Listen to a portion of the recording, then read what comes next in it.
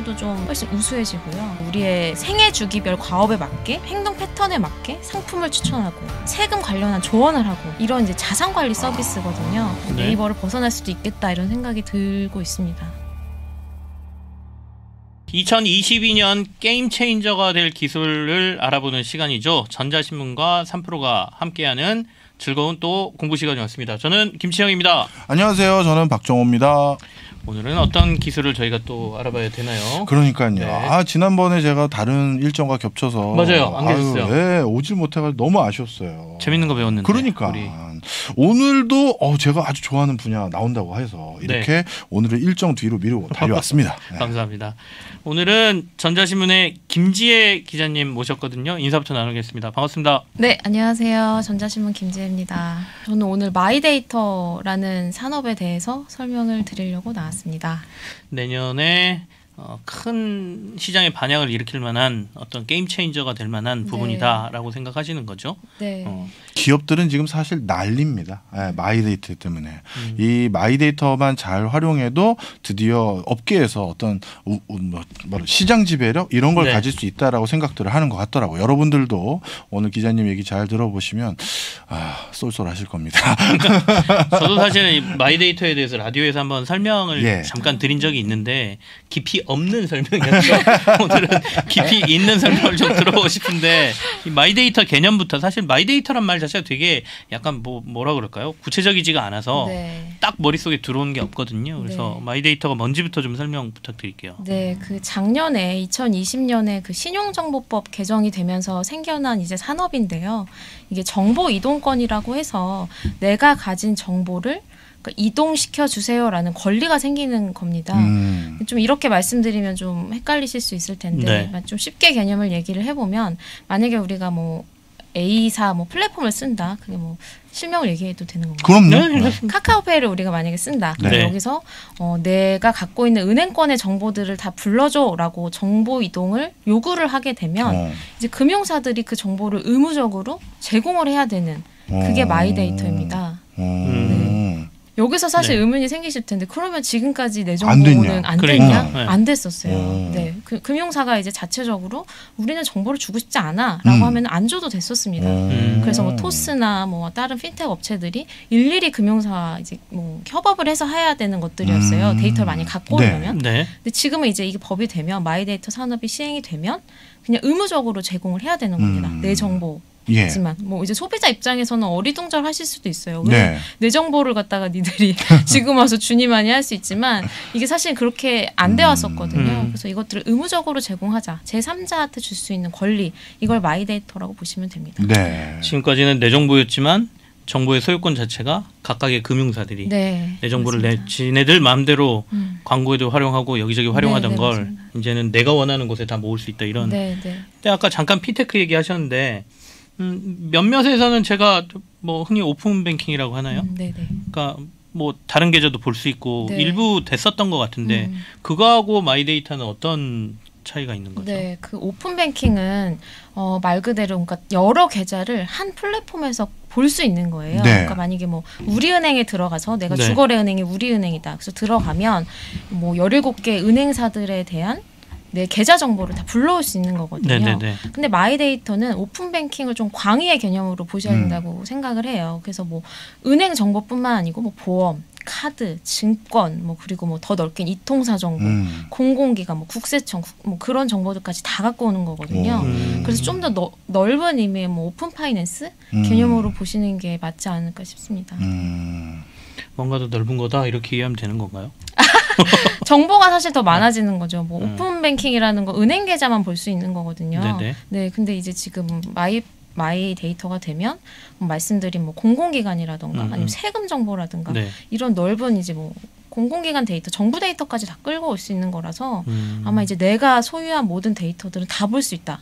이렇게 생각하시면 될 것 같습니다. 그럼 갑자기 드는 구- 그 궁금증이 그동안은 법적으로 이런 거를 막아놨던 정부가 네. 갑자기 이거를 왜 열어줬을까요? 그게 뭐 이제 정부에서 데이터 경제 활성화 음. 이런 것들을 계속 추진하고 있잖아요. 네. 그거의 이제 일환으로 정부 정책 음. 사업이었습니다, 사실. 네. 그래서 이것들이 데이터 경제에서 가장 선두적으로 해야 될 산업해서 이제 음. 마이데이터 산업이 나온 건데 음. 이게 되면 이제 지금은 우리나라에서 금융 쪽에서 드라이브를 걸고 있지만 사실 내년 내후년 음. 이렇게 되면 이게 공공 영역의 마이데이터 그리고 의료 영역의 마이데이터 이렇게 확장이 되거든요. 음. 그래서 결국에는 모든 데이터들이 다 표준으로 우리가 끌어올 수 있는 어. 그런 환경이 돼서 데이터 경제가 이제 생태계가 완성되는 그런 개념으로 보시면 됩니다. 아, 장기적으로 그러니까 금융 쪽뿐만 아니라 공공 의료 여기까지 다 마이데이터라는 개념이 네. 생기고 네.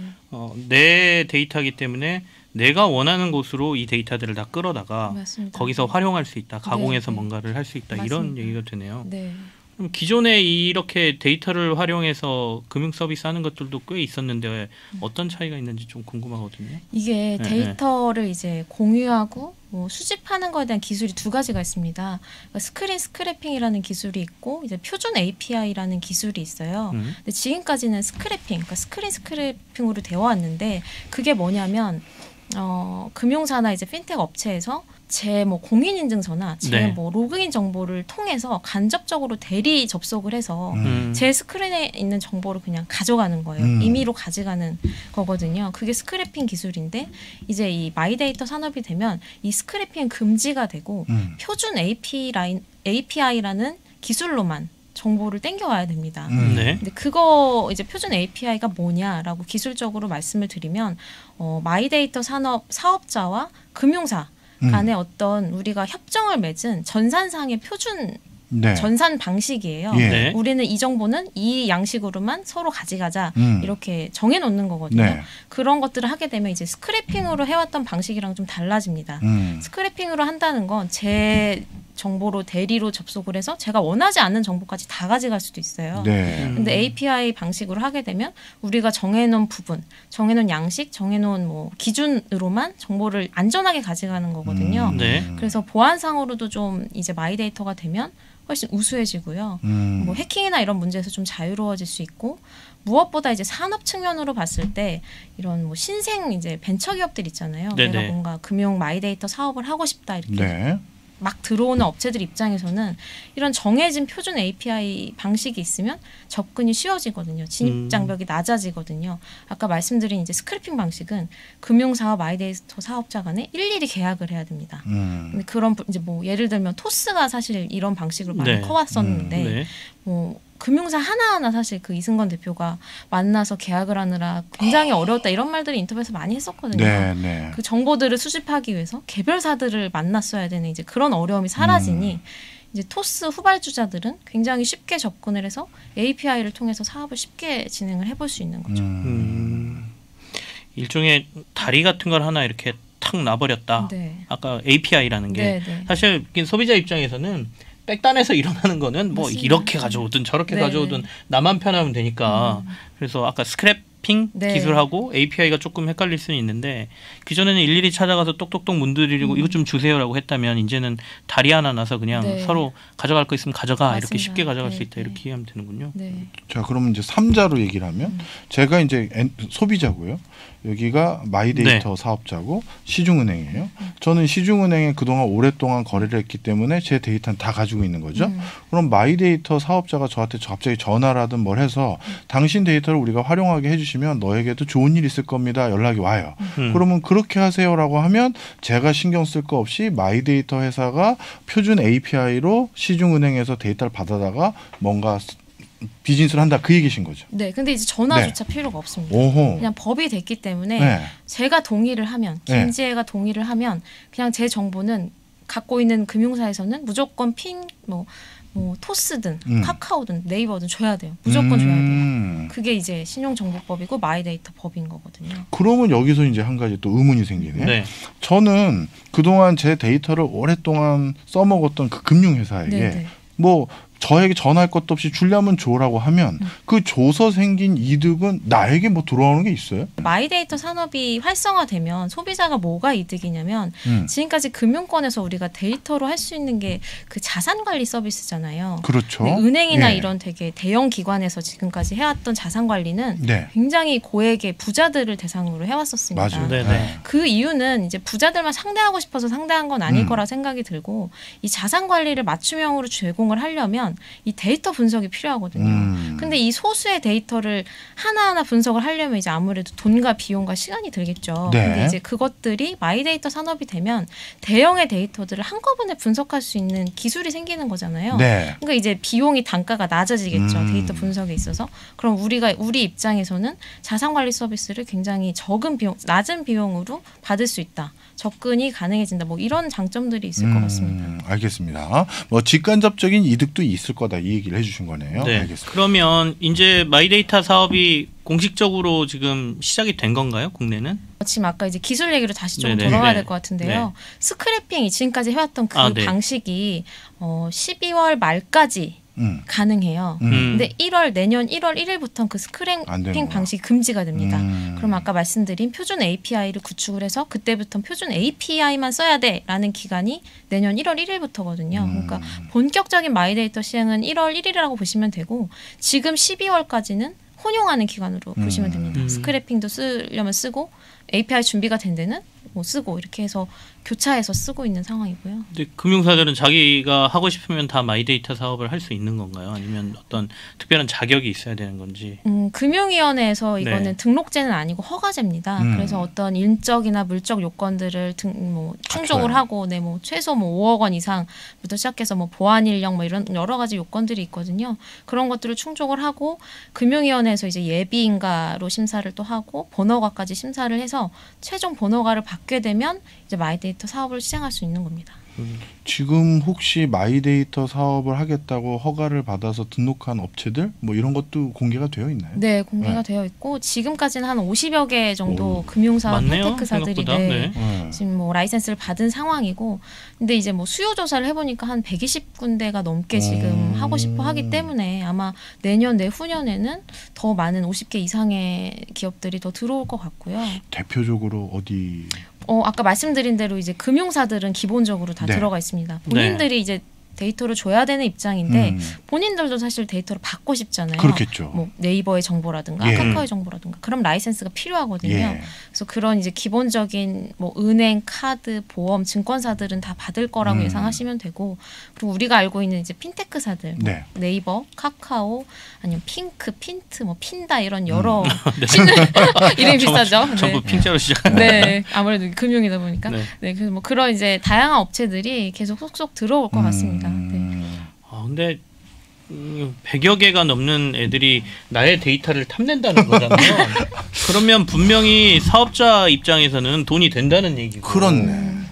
이런 건 보통 소비자들한테 별로 득되지 않는 경우가 아 많은데. 저는 꼭 숟가락을 얹고 싶은 생각이. 아까 이제 그럼 소비자 도대체 이익이 되는 게 뭐야라고 그러니까. 하면 그 자산 관리 같은 거에 조금 약간 비용이 떨어진다. 음. 근데 사실 일반 소비자들 입장에서 그렇게 자산이 많은 분들이 많지가 음, 않아서 음. 음. 과연 그만한 자산 관리의 수요가 또 얼마나 있을까? 음. 이게 이제 공공 데이터까지 막 확대가 된다라고 음. 하면 모르겠습니다. 어떤 서비스를 제가 구체적으로 받을 수 있을지에 따라 좀 달라지기 때문에 그래서 그러면 시범 서비스를 하고 있는 애들이 있을 텐데 네. 하겠다라고 지금 이제 혼용 기간이라고 하셨잖아요. 네, 네, 네. 구체적으로 좀 이렇게 좀 재밌는 서비스 뭐 이런 음. 것들이 조금 있어요. 뭐 네. 그런 거 얘기 듣고 들어보고 싶은데.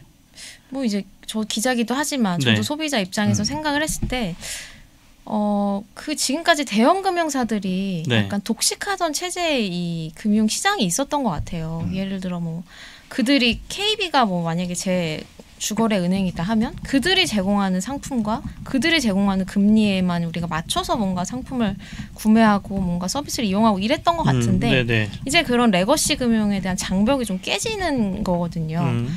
그래서 뭐 말씀을 드리자면 좀 편해졌다 하면은 우리가 어떤 플랫폼에 딱 뭐 들어갔을 때 내가 잘 쓰는 뭐 네이버나 카카오 플랫폼이 있다. 여기를 들어갔을 때 어, 지금까지는 국민은행에 들어가서 예금 금리 몇, 어, 몇 프로 더 주지? 찾아봐야 되고. 우리은행 들어가서 또몇 프로 몇 프로 더 주지? 들어가야 되고. 하나하나 들어가서 제가 비교를 했어야 되거든요. 음. 금리 대출 금리를 누가 더 낮게 주지? 아니면 뭐 적금을 누가 더 잘 주지? 이거를 소비자가 다 일일이 찾았어야 되는데 이제 그럴 필요가 없어지거든요. 모든 시중은행의 모든 금융기관들이 다 내 손 안에 들어와서 음. 말 그대로 손 안에 이제 금융 비서가 생기는 네. 거거든요. 그래서 비교할 필요성이 없어진다 그러니까 마치 넷플릭스처럼 나한테 꼭 맞는 맞춤을 추천해 준다 이런 개념을 보시면 확실히 편의성은 좀 올라간다라고 느끼실 수 있을 것 같아요 음. 그래서 요즘에 이제 뭐 대고객 서비스를 좀 몇 군데들이 시작했는데 네. 제가 보니까 뭐 가령 이런 겁니다. 뭐 10억짜리 여의도 아파트를 내가 사고 싶다. 네, 그러면은 내가 가진 돈이 얼마인지 우선 파악이 돼야 되잖아요. 그렇죠. 그러면 이거를 저 같은 경우에는 뭐 노트에 하나하나 썼었거든요. 내가 네. 어디 우리은행에 얼마 있지, 뭐 KB 얼마 있지 이런 걸 뭐 이렇게까지 안 하실 수도 있지만 네. 사실 좀 그런 분들도 있으실 거라고 아니, 생각해요. 10억이 그렇게- 없어서 아니 그렇게 써야 될 정도로 여기저기 아, 돈이 많지 않으세요? 말이에요. 그러니까요. 어우, 아, 전 잔잔하게 있어요. 친해기 지내요. 그래서 여하튼 그런 정보들을 일일이 다 찾았어야 되는데 이제 이게 마이데이터가 되면 여러 금융 정보들 내가 얼마가 있는지 막 진짜. 한 만 원까지 있었던 것까지 모든 야. 정보들이 갖고 와지거든요. 그럼 10억 아파트를 사야 되는데 한 제가 해보니까 5억 정도가 있는 거예요. 네. 근데 그러면 이제 마이데이터 서비스에 들어가 보니 뭐 이런 환금 가능한 저의 다른 자산까지 음. 또 API로 끌고 오더라고요. 음. 예를 들어 뭐 비상장 주식이라든가 네. 네네. 뭐 환금 가능한 차라던가 어. 자동차라든가 아니면 또 뭐가 있을까 뭐 골프 회원권이라던가 네네. 뭐 이런 것들 내가 팔았을 때 얼마 가치가 되는지를 네. 내가 알아서 이제 시세 분석을 해주는 거예요. 네. 그래서 이것까지 영끌을 하고 그리고 또 뭐 엄빠 찬스 이런 것들도 있어요. 음. 그래서 거기에 이제 뭐 예를 들어 엄마 인터뷰가 좀 필요하겠죠. 네. 엄마가 나한테 얼마까지 좀, 네, 좀 해줬던 건가 이런 것들을 좀 인터뷰해서 엄마 데이터까지 가져올 엄마? 데이터까지 예, 가져. 동의가 있어야 될 것 같은데 엄마의 금융계에서 동의가. 바로 해줄 것 같지는 네, 않은데 네. 뭐 여튼 그런 정보들까지 다 수집을 해서 막 영끌했더니 제가 한 8억 정도 되는 거예요. 그럼 막 2억이 부족하잖아요. 그러면은 2억의 대출을 어디서 받을 것인가 그걸 이제 플랫폼에서 알아서 분석을 해주는 거예요. 음. 어디 금융기관에 가면 이 금리가 제일 싸다. 그럼 원스톱으로 연결해서 제가 바로 대출을 받을 수 있도록 이 실행 다, 되게 과정을 굉장히 단축시켜 주는 거거든요. 이런 비용이나 편의성 측면으로 마이데이터를 좀 보시는 게 지금은 예, 맞지 않을까. 음. 지금 현재 시범 서비스 하는 데에서도 그와 비슷한 서비스가 있다. 네, 지금 서비스는 이미 하고 네. 있는 것들을 제가 예시를 좀 드려드린 음, 겁니다. 음. 네. 내 계좌 이거 다 모아서 얼마 있는지 보여주는 거는 뭐 저는 딱히 그렇게 매력적이지 않은데. 아니 그러니까요. 네. 금융회사가 이런 기분 나쁜 서비스를 왜 시작하게 한 거죠? 내가 이렇게 돈이 별로 없는 걸 그러니까요. 매번 확인시켜. 왜 사람을 바닥으로 모는 거야? 근데 아까 그 금리 비교 같은 거 네, 만약에 지금은 뭐 어디 들어가야 되잖아요. 금리 비교 사이트나 네, 뭐. 이런데 금감원에서 하는 네, 거 또는 네. 보험이면 보험 뭐 개 발원 이런 데서 네, 하는데 네. 들어가서 봐야 되는데 그걸 굳이 여기저기 안 가고 그러니까. 한 곳에서 만약에 내가 대출 너무 한. 뭐 부동산 사야 되는데 한 음. 5억 정도 대출 받아야 돼. 예를 들어 그러면 여기저기서 다 해가지고 여기 당신의 신용도라면 음. 여기는 안 되고 요 정도 가야 이 정도 금리에 받을 수 있습니다. 이거는 그래 좀 괜찮겠다는 네. 생각이 드네요. 이게 아무래도 저희 셋은 네. mz 세대는 아니잖아요. 아, 왜 그러십니까? 저 민지예요. 잠시만요. 아 그러세요? 제 이름 아, 김- 죄송합니다. 제 이름 김민지예요. 아 죄송합니다. 그 mz 세대는 또 저희랑의 약간 DNA가 다른 것 같아요. 아, 음. 어떻게 그러니까 해요? 이제 교수님이나 기자님께서 생각하시기에 그냥 뭐 아니 그냥 뭐 내가 아는 자산 우리은행에 네. 얼마 있고 뭐 신한은행에 얼마 있고 다 대충 아는데 음. 굳이 이걸 내가 일일이 다 봐야 되냐 이렇게 생각하실 수 있지만 네. mz 세대들은 그렇게까지 내가 막 계산하고 음. 분석 내 스스로 분석하고 이런 거 원하지 않는 것 같아요. 그러니까 그게 저는 넷플릭스로 비교가 되는 것 같은데 아. 그러니까 나한테 맞춤을 그냥 먼저 알아서 제시해 주는 거. 음, 그거에 익숙한 것 같아서 아마 향후에 더 이 서비스들이 고도화된다면 더 발전 가능성이 크지 않을까. 음. 네. 근데 돈은 mz 세대한테는 별로 없고 우리 같은 아, 그, 그렇죠. 그지 않을까요? 아, 향후에 이제 네, 뭐 네, 예, 네. mz 세대들이 이제 경제 예. 그러면 개인적으로는 이 마이데이터 사업의 그 성장 가능성 음. 또는 경쟁이나 뭐 이런 것들이 굉장히 치열할 걸로 예상을 하고 계시는 거네요. 네, 네. 그 음, 지금 뭐 말씀드린 대로 100개 넘는 기관들, 금융사들이 이 라이센스를 받기 위해서 뛰어드는 상황인데 사실 제가 취재하기로는 금융위에서도 고민은 있어요. 네. 그리고 이제 라이센스를 내주는 공무원분들께서도 너무 라이센스가 많은 거 아니냐. 희소성이 없으면 음, 음, 이게 사업 비즈니스 모델이 나올 수 없을 수도 있다. 그냥 약간 경쟁으로만 지금 이 라이센스를 보는 것 같다. 따고 보자 이거 아니냐.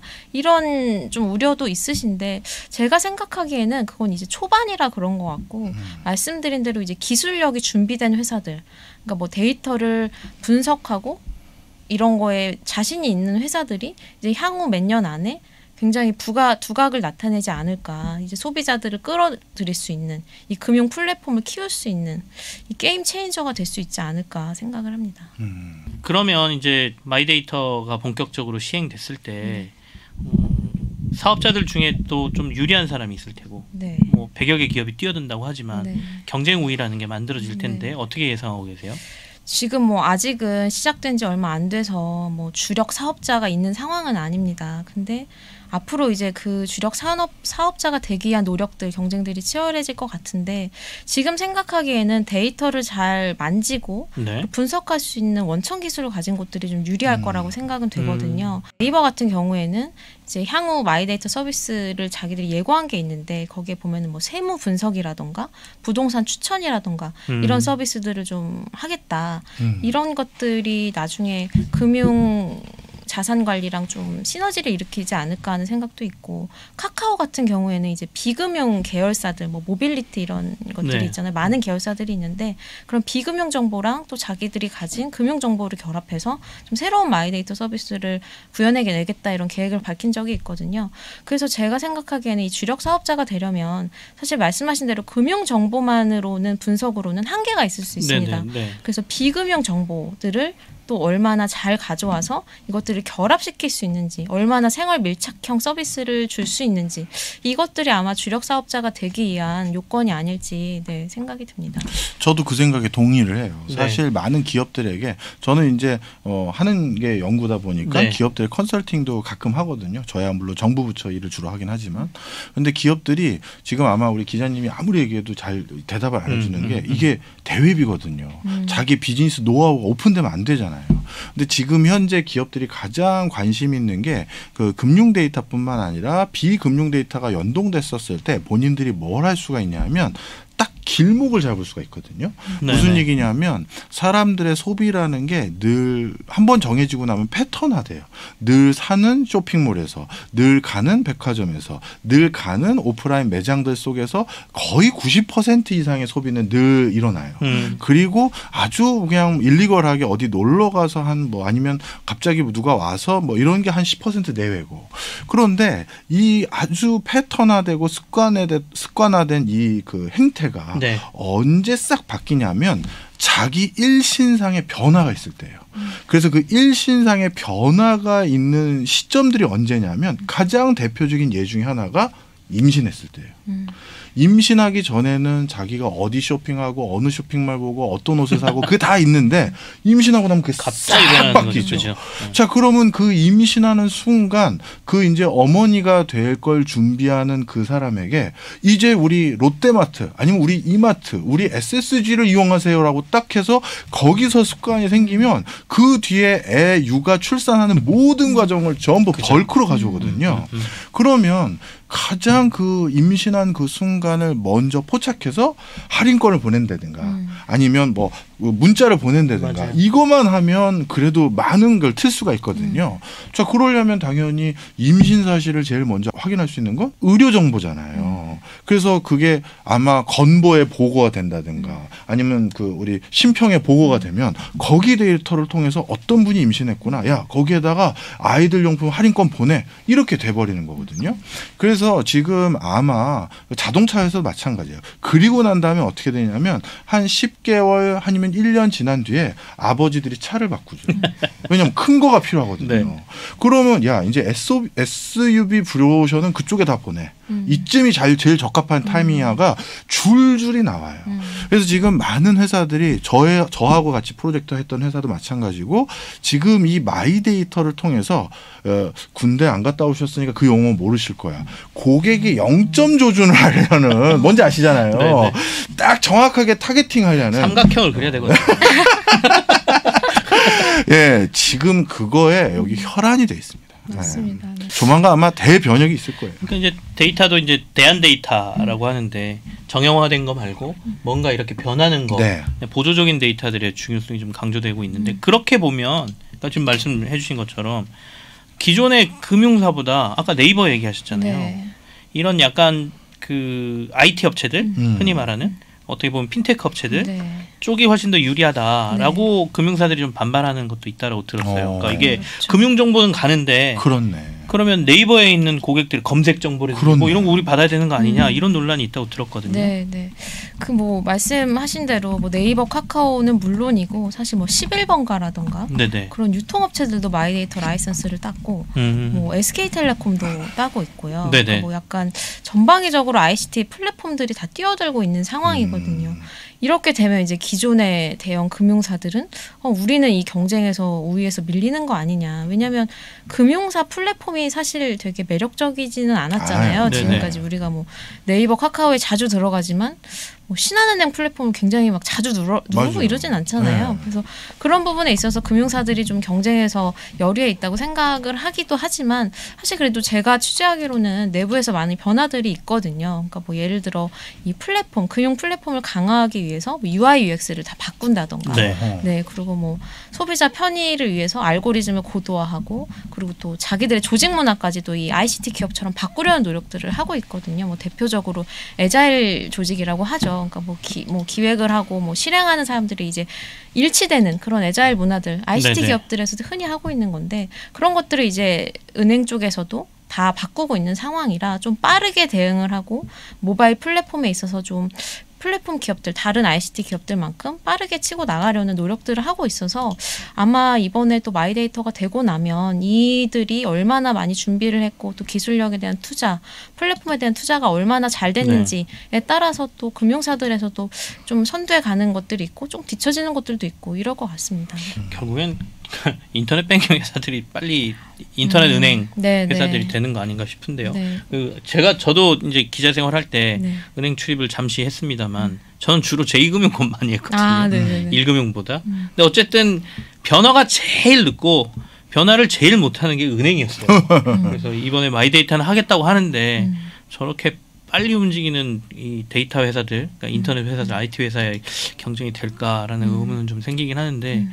어떻습니까? 해외도 분명히 데이터의 중요성들을 알고 있기 때문에 이런 마이 데이터라고 부르는지는 모르겠지만 음. 이런 사업들을 할 것 같은데 네. 해외 사례는 있나요? EU에서는 이제 유럽연합에서는 저희보다 앞서서 이제 관련 법들을 통과시켜서 좀 진행을 시키고 있는데 뭐 네. PSD2라고 해서 이제 지급 결제 뭐 지침 같은 거거든요. 네. 그게 이제 우리의 마이데이터 비슷한 건데 뭐 은행이나 이제 은행 계좌 발급 기관들이 가진 정보를 뭐 제3의 기관에 오픈하도록 강제하는 아까 저 저희 설명드린 마이데이터랑 유사하죠. 네네. 그런 것들을 이제 법을 통과시켜서 진행을 하고 있고 그 많이 아시는 GDPR도 개인 정보 보호 음. 관련된 법안들도 시행을 하고 있어서 유럽에서는 굉장히 빠르게 진행이 되고 있고 또 영국도 마이데이터나 오픈 뱅킹들을 선제적으로 하고 있거든요. 그래서 아마 우리나라만큼이나 진행 사항은 빨리 진행되고 있고 오히려 미국 같은 경우에는 그런 관련 법안이 있지는 않거든요. 거기는 네네. 오히려 법안이 없이 그냥 다 열어두고 우선 해봐라 이런 주의거든요. 음. 그래서 더, 굉장히 많은 마이데이터, 그러니까 그 데이터, 금융 데이터 플랫폼들이 많이 나오고 있습니다. 그래서 거기에 선두적인 기업들도 많이 있고, 5대 이제 미국의 마이데이터 기관들의 뭐 매출이 8조 원 정도 되고, 오. 네. 고용 인원도 뭐, 뭐약 1.3만 명 정도 뭐 1만 명이 추, 넘는다고 얘기를 하고 있는데 이것도 아마 몇 해 전에 통계이기 때문에 더 올랐겠네요. 아마 지금은 더 많이 음. 몇 배는 성장하지 않았을까. 그 5대 회사가 뭐 우리가 아는 뭐 그냥 상식적으로 생각하기에 뭐 Visa Master 이런 데입니까? 아니 그런 데는 그래요? Visa Master는 거대 이제 legacy 금융이에요. 그러니까요. 크게 웃으셨어요. 아, 죄송합니다. 어, 저, 죄송합니다. 아, 지금 어처구니 한참 없어서. 말씀을 드렸는데 전달이 잘 안 됐던 것 같아요. 네. 참. 아 얘기하세요 그럼 어떤 회사인지. 아 좋다. 비웃었다. 아, 네. 네.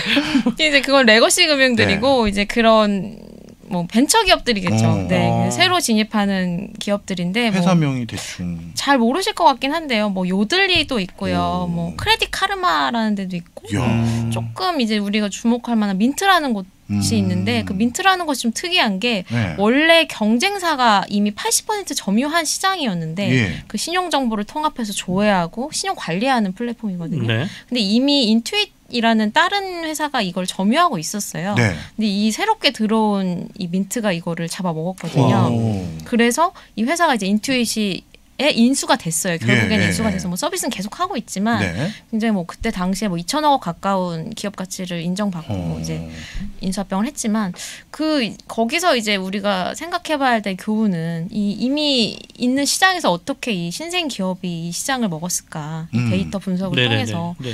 그때 뭐 당시 얘기를 들어보면 아무래도 그 사용자 편의성 그 음. 플랫폼 자체에 되게 mz 세대 요즘에 이제 젊은 세대에 맞는 굉장히 편리한 편의성을 제공했다고 해요. 그래서 불편함이 없고 실행 과정이 굉장히 단축돼서 이게 경쟁사에 비해 굉장히 편리했다고 하거든요.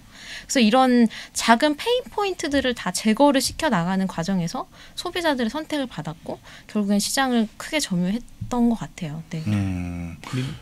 대표적으로 방금 말씀해 주셨던 회사들은 주로 어떤 서비스를 하고 있는지 알 수 있을까요? 그 Mint라는 곳은 뭐 네. 예를 들어 은행의 계좌 정보들도 있고 그리고 음. 우리가 카드에서 사용하는 이제 지급 결제들도 있고 네. 뭐 증권에서 뭐 CMA 계좌 내역도 있고 음. 여러 네. 가지 보험에서 뭐 대출 받은 것도 있고 여러 가지가 있잖아요. 네. 그런 것들이 실행될 때마다의 데이터들을 수집을 해요. 네. 수집을 해서 그 아까 말씀드린 우리의 그 생애 주기별 과업에 맞게 어. 행동 패턴에 맞게 상품을 추천하고 그리고 뭐 세금 관련한 조언을 하고 이런 이제 자산 관리 서비스거든요. 아. 그래서 이런 것들을 좀 선두적으로 잘 했던 것 같고 음, 좀 아무래도 UI UX에서 좀 편리함이 되게 컸다 음. 이렇게 저도 본 것 같습니다. 네. Mint라는 회사가 이미 시장을 점유한 회사를 잡아먹은 그 사례는 좀 연구해 볼만 하네요. 그렇네요. 우리나라 이제 마이데이터 사업하시는 분들도 네. 열심히 공부를 하고 있으실 것 같은데 제가 사실 네. 상식적으로 그냥 생각한 거거든요. Visa나 Master는 엄청난 개인 데이터를 가지고 있기 때문에 아까 5대 마이 데이터 회사가 있다라고 음. 하셨길래 당연히 그 회사들이 출자해서 자회사 정도 차리고 음. 거기서 organize 하고 있나 보다 생각했더니 그게 아니라 완전히 새로운 기업들이 그냥 판을 깔았네요. 그렇죠. 야, 이거 굉장한 시사점입니다. 이게 네. 데이터의 소유권의 문제가 아니라 그 데이터를 어떻게 분석해내고 그렇네. 어떤 서비스를 제공하느냐가. 결국 경쟁의 핵심이라고 네. 했으니까 네. 그렇게 본다면 우리도 지금 데이터를 많이 갖고 있는 금융사가 꼭 이 마이데이터 사업의 우위 사업자가 된다라고 보기는 힘들다 이렇게 봐야 되겠네요. 어렵죠. 네, 네. Credit Karma도 이름이 멋있어서 궁금합니다. 아, 거긴 뭐 네. 하는 회사일까요? 아무래도 크레딧 크레딧이 들어가니까 네. 신용 신용. 정보겠죠. 어. 네, 이제 신용 정보에 이제 뭐 그 오르락 내리락 하는 부분들을 그러니까 미국 같은 경우에는 신용 정보 관리가 되게 쉽지 않대요. 맞아요. 그걸 조회하거나 네. 또 내가 올리려고 점수를 올리려고 했을 때 이 방법이나 이런 것들이 음. 굉장히 불투명했다고 하더라고요. 음. 그래서 굉장히 어렵고 진입 장벽이 높은데 이런 이제 저기 벤처 기업들이 이런 부분을 어떻게 하면 당신 신용 정보를 좀 올릴 수 있고 음. 이렇게 하면 소비를 어떻게 하면은 더 뭐 신용 관리에 편하고 이런 것들을 잘 조언하고 이런 약간 최초의 플랫폼이었던 것 같아요. 그래서 이것들이 되게 금융 소외 계층이라고 하죠. 음. 그분들한테 되게 소구가 됐다고 알고 있습니다. 음. 음. 야, 이 미국 같은 경우는요, 네. 사실 우리나라 국민분들께서 그 미국의 신용평가 방법의 세부적인 내용을 아시면 정말 우리 데모 날 정도예요. 어느 정도냐면 거기는 진짜 냉정해요. 네, 신용평가가. 그래서 정말 그 한 10, 20년의 통계로 예를 들어서 네. 백인의 대손율이 떨어진다 그러면 인종으로 크레딧을 더 올려요. 어, 그리고 어느 동네에서 있다? 그럼 그걸로도 올리고 음. 학교를 어디 나왔다? 그걸로도 올려요. 우리나라에서 만약에 어느 학교 나왔다 큰일 난리 날 일이죠. 난리 날 일이에요. 그래서 외국 같은 경우는 그 정보를 당연히 미국 국민들도 기분 상할 거 아니에요. 그죠. 그래서 오픈을 잘 안 해요. 그러니까 저 회사 어, Credit K- Karma 예, 네. 이 회사는 그거를 어떻게 분석해냈는지 모르겠지만 아주 정교하게 잘 어, 매저해서 알려주는 것 같습니다. 이거 대단한 노하우네요. 예. 우리나라도 몇몇 핀테크 업체들이 뭐 자기 신용 정보 관리하기 뭐 이런 서비스들을 지금 하고 있는데 음. 아마도 저런 Credit Karma라는 회사의 사업 모델을 좀 가져와서 우리나라에서도 해보려고 하는 것 같다는 네. 생각이 드네요. 우리나라에서 신용 평가를 할 만한 남다른 마이데이터. 우리 치영 기자님은 뭘 그 이런 거 연동하면 그 사람이 미래 나중에 어, VVIP 고객이 될 싹이다 해서 먼저 주거래 은행으로 딱 잡아야 된다. 이런 거 뭐 없으세요? 느낌. 가상자산? 코인? 요즘 어, mz 세대 가장 큰 맞아요. 그 돈 네. 많이 버는 거는 가상자산 말고는 없다. 음, 음. 사실 좀 암울한 얘기긴 한데 예, 농담삼아 했고요. 네. 어쨌든 마이데이터 사업은 상당히 재밌어 보이긴 하는데 과연 우리나라에서도 이런 게 먹힐까? 아까 말씀하신 것처럼 신용 정보 같은 경우에도 그렇고 여러 가지가 우리는 약간 투명하게 맞아요. 관리되는 부분이 있지 음. 않습니까? 그래서 이걸 어떻게 사람들한테 소구하느냐의 문제는 좀 남아 있는 것 같다는 생각은 드는데 음. 다만 부동산 세금 네. 음, 아까 세무 정보 음. 이런 거는 좀 먹힐 것 같아요. 음. 최근에 워낙 부동산 제도 많이 바뀌니까 네. 야 세무사도 부동산 세금 어제 바뀌어서 오늘 모르고 세무사도 세무 상담을 한다 뭐 이런 얘기도 있었거든요. 음. 그런 건 좀 되지 않을까 싶은데요. 음. 우리 기자님은 어떤 부분이 제일 잘 될 것 같으세요? 맞아요. 그 여쭤보세요. 이렇게 여쭤볼게요. 기자님은 이 마이데이터 산업을 누구보다 전문적으로 이제 쭉 분석을 하셨는데 그래서 자기에게 어떻게 활용할 생각을 가졌으면 그게 이 마이데이터 산업을 우리가 이해하는 방법이거든요. 음. 아 상황이 이러니 나는 뭐 예를 들어서 계좌를 통합하겠다 음. 아니면 나는 뭐 어떻게 하겠다 뭐 그런 대안이 있으셨을 것 같아요. 제가요. 네. 통장도 여러 개 있으신 분이고 제가요. 어, 그렇구나. 그렇게까지는 생각 안 네. 해봤는데 뭐 사실 되게 사업자분들 많이 뵙고 있고 네. 준비하고 있는 것도 잘 알고 있는데 지금 말씀드린 이제 뭐 해외 기업들도 다 알고 계세요. 음. 이런 reference를 따라가려는 기업들 사실 지금 말씀드린 거 유사하게 하고 있는 데들 많이 있거든요. 네. 네네. 네. 근데 지금 아마 이 정도 기업까지의 분석력이 가지 않았지만 음. 모델은 이렇게 가는 데들은 꽤나 있습니다. 근데 이제 요즘에 제가 좀 생각하는 거는 말씀하신 이제 세금이나 이런 관련된 우리 생활에 필요한 음.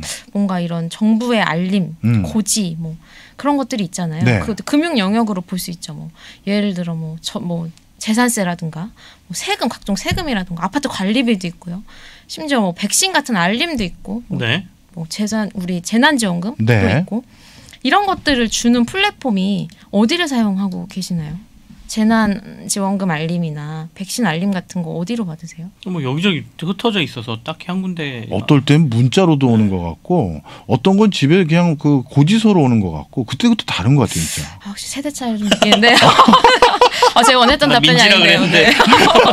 어떻게 옵니까? 어 그게 지금 그 이제 백신 알림이나 네. 재난 지원금 같은 경우에는 사실 세 개 기관에서만 와요. 네이버, 카카오 그리고 토스 이렇게 세개 기관에서만 주고 있거든요. 아마 알게 모르게 그렇게 정해져 있습니다. 지금 인지를 못 하셔서 그러시는데 그 재난지원금이랑 백신을 세 가지 플랫폼에서 주고 있고 또 요즘 은행권이나 핀테크들이 좀 뛰어들고 있는 게 전자문서 중개라는 라이센스가 있어요. 네. 이거 이제 행안부에서 주는 라이센스인데 이것들을 금융사들이 엄청 하고 싶어해요. 이게 뭐냐 하면 아까 말씀드린 재산세라든가 우리 각종 세금 알림 있잖아요. 네네네. 그런 것들에 대한 알림을 주는 라이센스예요.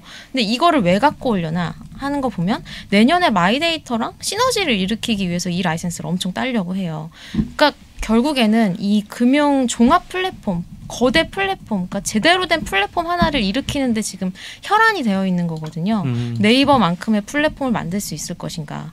그 지금 말씀드린 뭐 세금이나 뭐 백신이나 알림을 한 군데서 받을 수 있다면 우리는 결국 플랫폼 하나만 보게 될 거거든요. 네이버를 사용하는 사람은 네이버만 사용하게 될 거고 거기서 세금 알림 받고 세금 내고 거기서 모든 금융 활동이 일어나고 쇼핑까지 하는 결국 그렇게 될 음. 거기 때문에 이런 모든 활동들 나의 생활 활동들 금융 활동들이 어디서 일어나느냐를 봐야 되는데 음. 지금은 말씀드린 대로 뭐 그런 대형 플랫폼들이 좀 갖고 있는 건 네, 사실이죠. 네. 근데 이제 뭐 다른 금융사들이라던가 아니면 뭐 통신사라던가 이런 것들도 플랫폼을 만들고 있어서 이곳들이 이제 데이터 분석 능력을 갖고 뛰어들게 된다면 정말 이제 앞으로는 네이버를 벗어날 수도 있겠다. 지금 뭐 네이버를 많이 보니까요. 네, 네. 네이버를 벗어날 수도 있겠다 이런 생각이 들고 있습니다. 네. 좋네요. 우리 3프로도 네. 지금 여기에서 댓글 쓰시고 저희도 앱도 있고 그렇잖아요. 이거를 뭐 예를 들어서 마이데이터화 해서 모 금융사와 해가지고 뭐 서비스화 해서 아 그분이 관심 있는 분야, 테마, 종목 이런 것들이 뭐 우리 3프로에서 컨텐츠가 만들어지기 뿐만 아니라 ETF 상품이 만들어졌다 해서 딱 알려준다든가.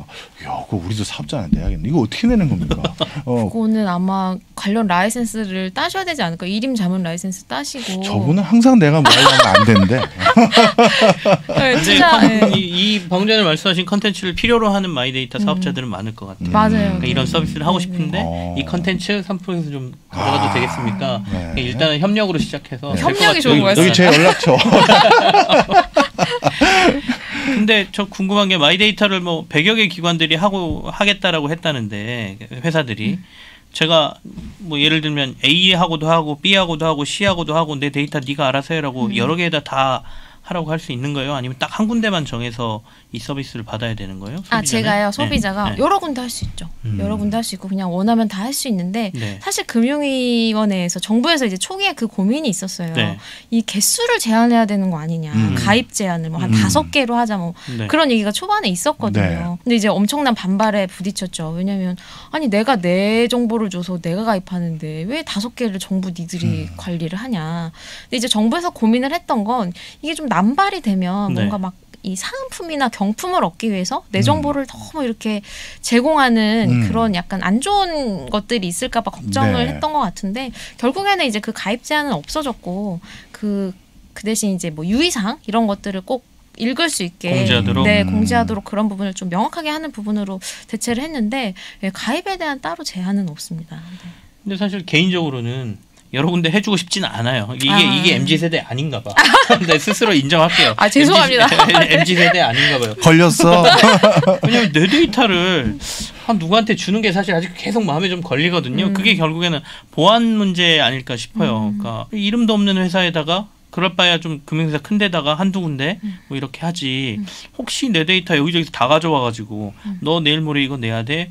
이런 문자 받을 때도 사실 약간 기분 나쁠 때 있고 얘가 음. 이 정보를 어떻게 알았지? 음. 어? 그건 내 정보인데? 막 이런 게 있는데 음. 보안 문제는 이 마이, 마이데이터 사업에서 큰 뭐가 없나요?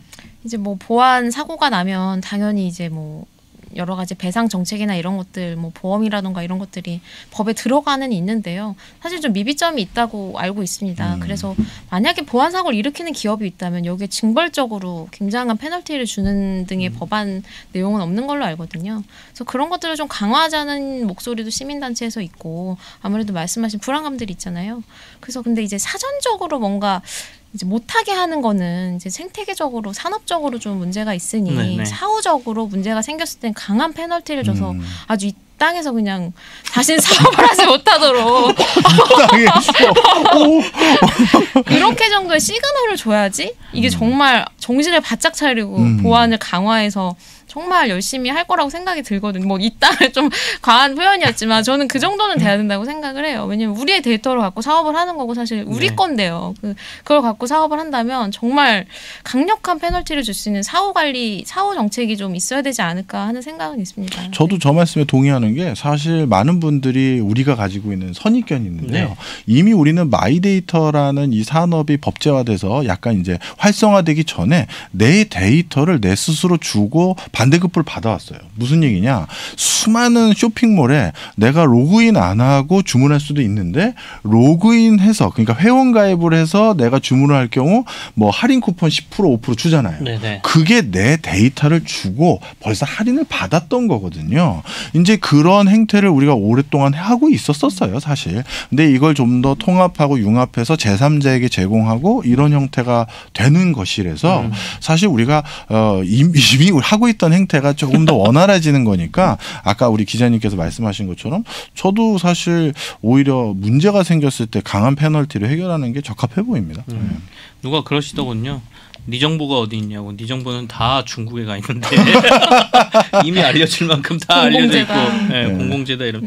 결국에는 가져와서 어떻게 가공해서 음. 이걸 얼마나 효율적으로 사용하느냐의 문제인 것 같습니다. 내년 1월부터 본격적으로 사업이 시작되고 네. 앞으로 점점 이제 공공 데이터 쪽으로 이게 확대가 된다 그랬는데 이 음. 로드맵이 좀 어떤 식으로 돼 있는지 구체적으로 좀 얘기해 주실 수 있어요? 공공 마이데이터나 의료 마이데이터들도 각 부처에서 지금 진행을 하고 있거든요. 네. 그래서 방향성이나 얼개는 나왔고 내년 이제 2022년이나 2023년까지 이것들을 좀 구체화해서 지금 금융 마이데이터의 또 성과들 보면서 같이 연계하는 방안 또는 이제 또 고쳐나갈 방안들을 꾸려서 이제 TF와 함께 지금 진행하고 있는 것으로 알고 알고 있거든요. 그게 4차 산업혁명위원회에서 키를 잡고 하고 있는데 네. 네. 그것들이 아마 내년쯤 되면 조금 더 가시화가 되지 않을까 공공이나 의료 음, 음, 쪽도요. 음, 음. 네, 네. 저도 그렇게 생각을 합니다. 아, 앞으로 이제 점점 이게 뭐 공공이나 의료 같은 게 더 포함되면 네. 이제 뭐 어, 우리의 편의도 더 늘어날 뿐만 아니라 많이 또 늘어나면 또 여기에서 또 개인정보 유출되면 또 한 번에 또 우리 다 기분 확 상하는 거 있잖아요. 또 그런 사건도 분명히 생겨요. 그렇지만 저는 이렇게 말씀드리고 싶어요. 저희 학계에서는 어 이거는 정해진 미래다. 어, 뭐 우리가 백한다고 음, 음. 백도를 할 수가 없다고 생각을 합니다. 지금 미국에서 새로 논의하고 있는 법적인 이슈가 뭐냐면요. 내가 내 마이 데이터는 내가 내 데이터 누구 주세요라고 허락을 해야 가능한 거잖아요. 네, 네, 네. 근데 그 데이터를 주라고 하지도 않았는데 많은 회사에 내 개인 정보를 흩어진 거를 모아 가지고 나 내가 누군지 이름 빼고 알아내는 거예요. 음. 예를 들어서 우리 치영 기자님도 그렇고 기자님도 마찬가지일 텐데 여기저기 가입하실 때 아이디 다 바꾸지 않으시잖아요. 비슷한 거 몇 개를 계속 쓰잖아요. 그렇죠. 그러니까 그 비슷한 아이디로 여기저기 그 사람이 쓴 댓글이라든가 그 사람이 어디 가입한 내용들을 다 보면 어? 결혼했네? 어? 애가 있네? 어? 어디 사네? 어? 직업은 뭐네? 다 나오는 거예요. 그럼 그 스테레오 타입으로 결국 음, 이 사람에게는 뭐 이런 쪽에 이런 제품들 뭐 예를 들어서 이 샴푸라고 하면 탈모 관련한 이 샴푸가 필요한 사람들에 대한 고객 정보가 저희 필요한 회사인데요. 어, 저희 5만 명 확보돼 있습니다. 드릴게요. 얼마요? 그런데 그 5만 명 DB 안에 내 게 들어가 있는데 나는 그 사람한테 준 적이 없거든. 음. 근데 그 회사는 알고리즘으로 그걸 찾아낸 거예요. 음. 그랬을 때 그럼 저 마이데이터라는 저 법은 결국 잘못하면 유명무실해질 수가 있잖아요. 네네. 그래서 차라리 저런 걸 법제화해서 양성화해 버리자. 음. 안 준다고 하는 게 아니라 그냥 그냥 드릴 알아서. 테니까 네. 편하게 쓰고 세금도 내고 그렇게 해라. 이런 의미라고도 판단하는 학자들도 있어요. 음. 네.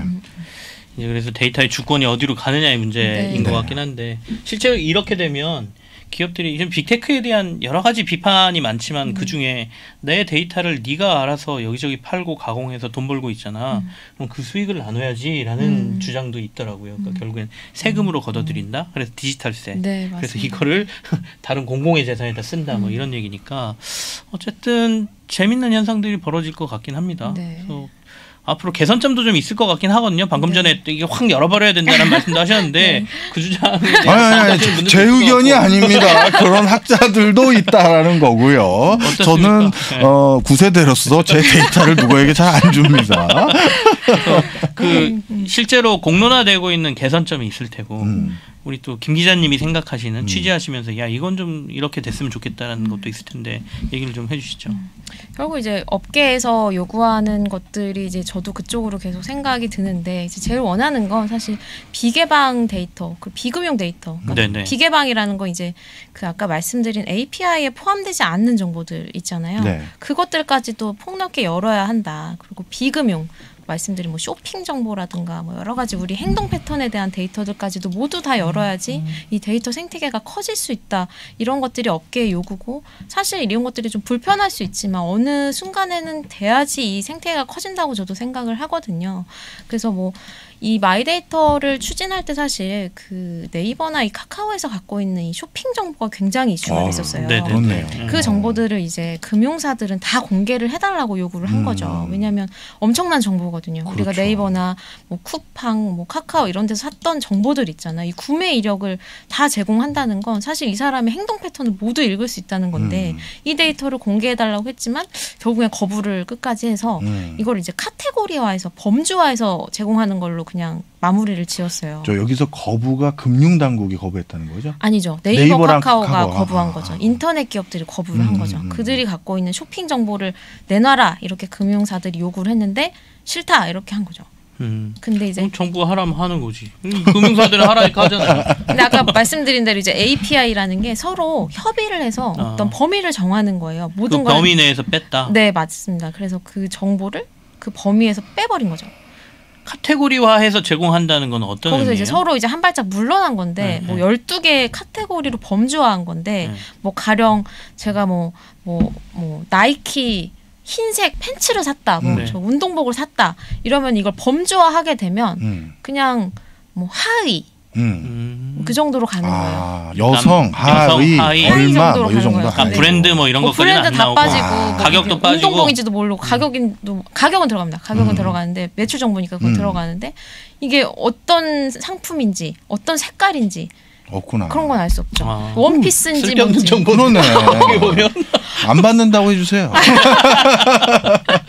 됐거든. 네. 그러니까 그런 식으로 이게 마이데이터가 됐지만 이 정보들이 약간 좀 뭉뚱그려 있는 정보들이 있어요. 아까 말씀드린 API를 협의하는 과정에서 이게 좀 마무리가 좀 급마무리 된 정보들이 좀 아, 있는데 네네네. 그런 것들을 좀 구체화해서 조금 더 이왕 생태계를 키우는 김에 조금 더 구체화하고 아까 말씀드린 대로 이제 보안에 대한 문제는 사후적으로 다뤄서 해결할 문제지 이게 처음부터 정보를 준다 안 준다 음. 아니면 또 업계가 서로의 이익을 위해서 뭐 우리 정보는 못 준다 이런 식으로 해서는 우리가 이 미국과 중국 같은 이런 데이터 생태계를 키우는데 좀 속도가 느려지지 않을까 하는 예, 그런 음. 우려도 좀 있고요. 네. 하여튼 오늘 저기 마이데이터 이게 저는 앞으로 네. 새로운 산업에 굉장히 중요한 화두라고 생각을 하고 있었었는데 저희가 제가 몰랐던 사실들 또 이제 우리나라의 내부적인 또 어떤 맥락들 오늘 확실히 저도 배웠네요. 네. 어, 절대 근데 어디다 투자하라는 말씀은 안 하시네. 아까 미국 업체 뭐 예, 예. 뭐 그런 비슷한 업체 저도 한번 네. 스터디 해봐야겠네요. 예. 국내에 이제 시작하는 거니까요. 음, 음. 경쟁 우위 상황 보시면서 네. 생각하시면 될 것 같고요. 저희가 전자신문하고 3프로가 2022년 어, 기술을 이끌 10가지 트렌드를 저희가 점검해 보고 있는데요. 오늘은 마이데이터와 관련돼서 우리 김지혜 기자님과 얘기 나눠봤습니다. 오늘 즐거웠습니다, 기자님. 감사합니다. 고맙습니다. 즐거웠습니다. 감사합니다. 네.